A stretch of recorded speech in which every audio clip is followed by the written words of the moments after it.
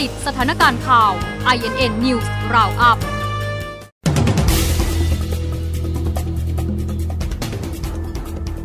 8นาฬิกา 5 นาที ไทยป่วยโควิดเพิ่มอีก 2,713 รายสะสม 132,213 รายแล้ว วันนี้เสียชีวิตอีก 30 รวม 806 ศพ หายป่วยวันนี้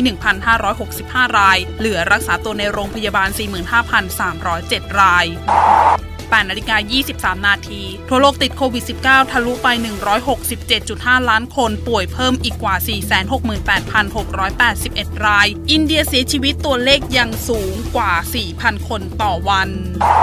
8นาฬิกา37 นาที นายกรัฐมนตรีนำคอรมออายุเกิน 60 ปี ฉีดวัคซีนแอสตราเซเนกาเข็มที่ 2 พร้อมตรวจเยี่ยมประชาชนที่มารอรับการฉีดวัคซีนที่สถาบันบำราศนราดูน ขอมั่นใจฉีดทุกคนอย่าบิดเบือน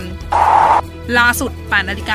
า49 นาที สมาคมพัตคารไม่เชื่อสถาบันการเงินปล่อยกู้ร้านอาหาร หลังรองนายกรัฐมนตรีจุลินยื่นมือขอเป็นตัวกลางประสานเพิ่มสายป่านให้ผู้ประกอบการ